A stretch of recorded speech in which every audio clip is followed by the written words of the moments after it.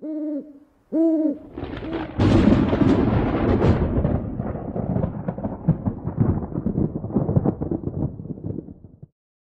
up guys, it is Android At Night and I'm just setting up my Galaxy Note 2 for some more reviews and I thought I'd quickly run you guys through all the wallpapers and all the live wallpapers you get stock on this device uh, just while I'm waiting for everything else to install.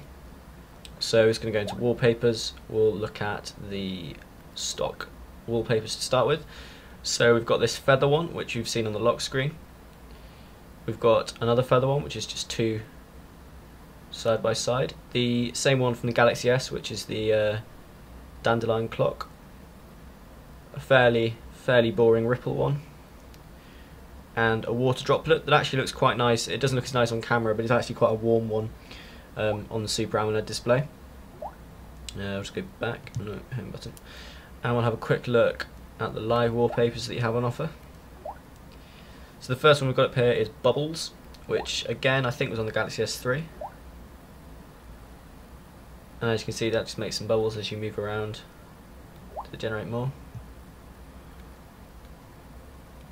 No, it doesn't generate anymore, so that's just some bubbles, but they look kind of nice. Again, it pops quite a lot because the screen has really good con- oh no, live wallpapers has really good contrast.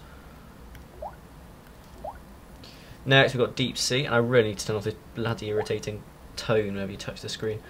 Um, this is again the one we've seen. I think you can normally interact with these. Okay, you can't on this one, but normally you can interact with the bubbles. Um, but this one does look quite nice. It's one of my favourite ones that comes stock. Next, got Luminous Dots, which again was on the Galaxy S3. And as you can see, that just sort of chills in the background. It doesn't interact, but it's got some quite cool. Doesn't even seem to be live at the moment. Oh, there we go. So it sort of gently fades in and out. That's quite a nice one and I imagine that would be quite good on your old battery life. Uh, what else have we got? We've got News Wall. Uh, these are really nice, except they have this irritating Yahoo logo. If they didn't have the Yahoo logo, I might use these. Uh, but I'm not going to bother setting that up now, but you've all seen that on the S3.